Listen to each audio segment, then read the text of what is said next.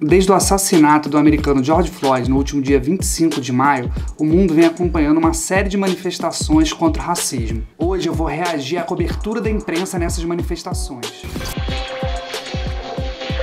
Ao que tudo indica, uma nova onda de manifestações como em junho de 2013 vem por aí. E eu tô muito curioso para saber como que essas novas narrativas vão acontecer e como a gente vai representar isso. E como isso pode impactar o mundo do documentário. Para começar, a cobertura dos protestos pelos veículos mainstream de comunicação já começaram cheio de equívocos, né? A CNN escalou William Vac, um racista notório, para ser o anfitrião de um monte de debate antirracista. Por outro lado, a Globo News virou piada quando botou cinco comentaristas brancos para cagar regras sobre racismo. É isso que nós brancos fazemos, né? Jornalistas que dividiram comigo a cobertura ontem, todos experientes e de alto nível profissional, eram todos brancos. E no dia seguinte até que eles deram uma revertida na situação, botando cinco mulheres negras para comentar sobre o assunto. Foi um belo trabalho de um comitê de gestão de crise. Tenho certeza que esse dia deve ter sido pesado e essa escolha não deve ter sido fácil. Mas foi legal ver a Globo News descendo do salto e assumindo seus erros. Isso é importante também. Agora, nós brancos, quando fazemos alguma coisa antirracista, a gente fica tão orgulhoso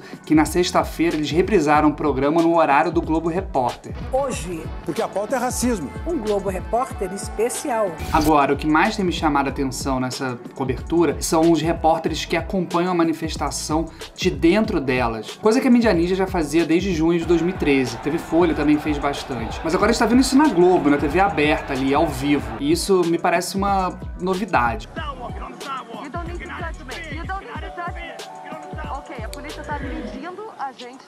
E uma coisa interessante também é que os repórteres me parecem muito mais emotivos, muito mais emocionais. Não sei se vocês repararam isso, mas eu fiquei com essa sensação de que eles estão sendo brifados para externalizar mais as suas emoções e as suas sensações ali de dentro. Por outro lado, acho que existe também uma enorme preocupação em o tempo todo ficar dizendo que parte da manifestação é pacífica e parte da manifestação é violenta, como se houvessem duas manifestações. Mas eu acho muito interessante como eles ficam o tempo todo só querendo validar o lado pacífico da manifestação, como já foi feito aqui no Brasil há anos atrás. O que acontece então quando a polícia é a parte violenta desse, dessa manifestação?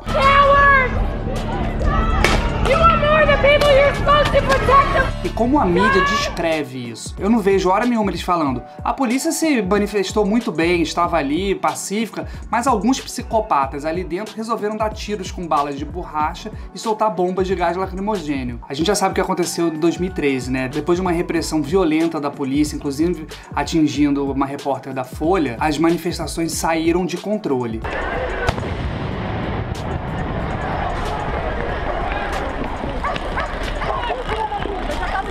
E essa intenção da mídia mainstream o tempo todo querer botar um pouco de pólvora e um pouco de água, a gente tem que ficar atento. Quando na verdade eles estão querendo dizer: a gente quer que vocês sejam pacíficos, vão para as ruas, mas não quebrem nada.